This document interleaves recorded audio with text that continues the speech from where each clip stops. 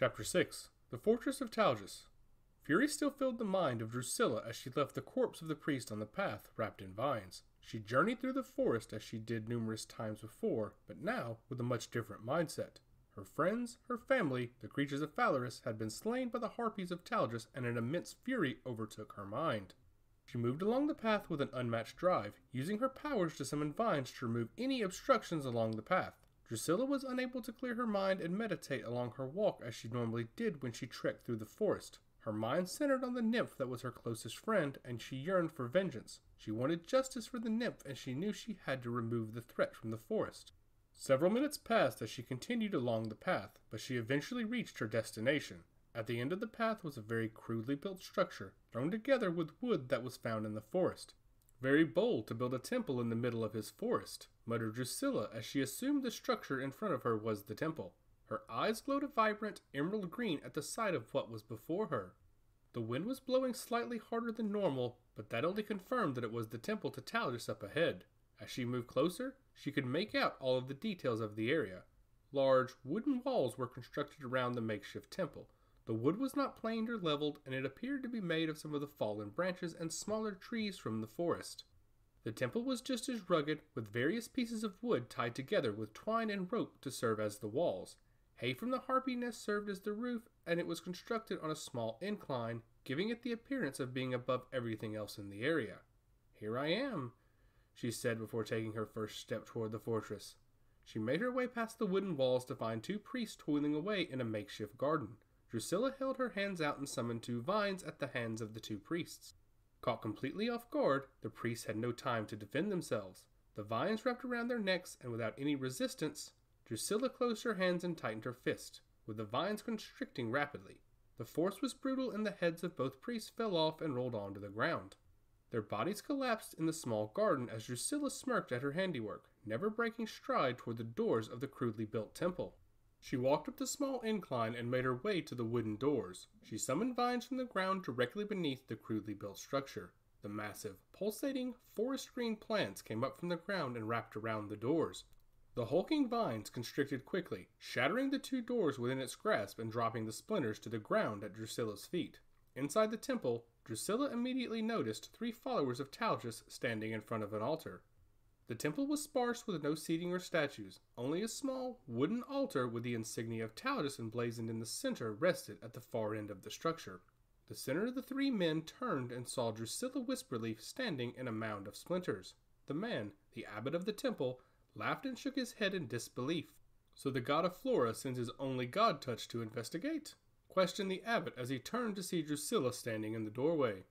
Vines wiggled and moved around her freely as she stared at the abbot and the two priests to his side, with Drusilla focused on ending their course of destruction. The forests were damaged, and Drusilla's ire was pointed at the abbot of Talgus. The abbot took a step away from the other two priests confidently. I'm sure you're just as frail as the majority of his ilk.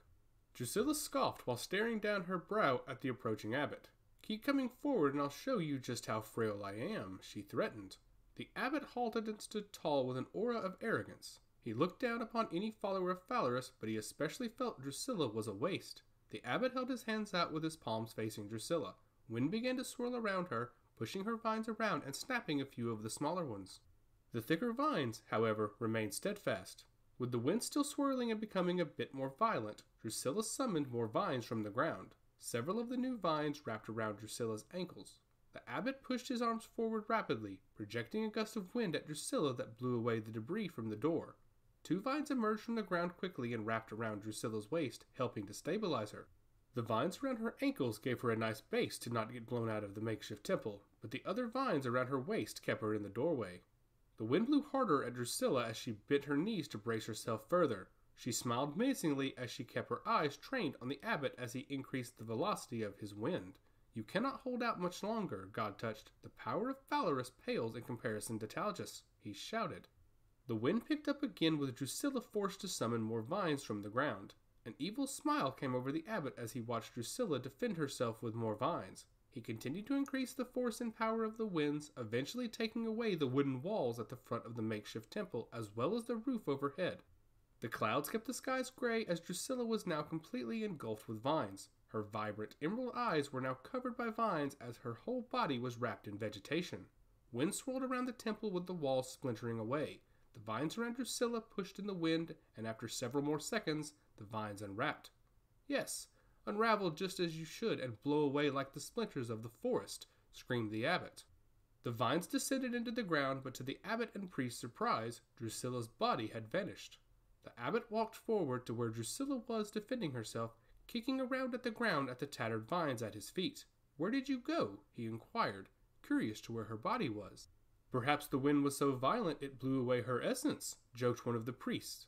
The youthful priest stepped forward, still in awe at the power of the abbot. You will have to show me how you did that. The abbot smirked and shook his head. Stay on your guard, priest. Until we find her body, she's still a threat. The youthful priest shook his head, disagreeing with the abbot. I'm sorry, but I don't think you need to be so humble. That was impressive.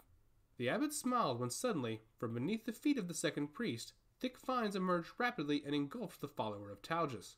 Within a split second, the vines pulled the priest into the ground, leaving a hole in the wooden floor. The abbot and the other priests were stunned. Both followers of Talgus glanced down at the ground when the planks beneath their feet began to quake. Vines sprung up underneath the other priest, immediately encapsulating him and pulling him into the ground. In the center of the makeshift temple, the wooden planks on the floor splintered and exploded into the air as vines sprung up, carrying the god touched follower of Phalaris. Her eyes glowed as she smiled at the abbot, who immediately summoned the wind to combat Drusilla. Unless you can conjure up a storm capable of leveling this entire forest, you will not live through our encounter, stated Drusilla ominously. She showed a power that no follower of Phalaris ever imagined, and now the abbot of Talgus was in grave danger. The abbot swung his arms at Drusilla, sending heavy gusts after heavy gusts that the god touched, with Drusilla shrugging it off. Without moving a muscle, Drusilla summoned massive vines from the ground to strike the abbot firmly. Each vine hit him in the face and torso like a whip being cracked, stunning the abbot. After a few strikes from Drusilla, the gusts stopped and the abbot was staggered. Drusilla opened up her arms and brought forth a massive vine from beneath the abbot. It wrapped around his arms and his torso and hoisted him into the air. The vine swung wildly, slamming the abbot's head into the ground and spilling his blood onto the wooden splinters. Strike after strike of the abbot's head into the ground sent his essence to Vesia and removed the threat in the forest. The wind from the abbot toppled the makeshift temple, but the vines from Drusilla ended any threat from Talgus and his followers. The massive vine that ensnared the abbot held his battered corpse in the air for Drusilla to see. With blood pouring down his face and into his hair before dripping to the floor, Drusilla smiled at her handiwork. She had delivered the evil from the forest, and now she needed to communicate with the high priest. How he allowed an evil force into the forest was something he would need to answer for. Scribbcrib Publishing would like to thank you for listening to By Gods and Kings. For more information on By Gods and Kings, please feel free to visit our website, bygodsandkings.com. You can like us on Facebook and follow us on Twitter, both at By Gods and Kings.